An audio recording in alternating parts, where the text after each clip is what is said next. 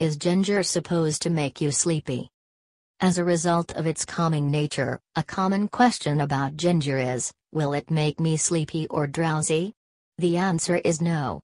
Since it increases circulation, most people who eat or drink ginger actually report a boost of energy.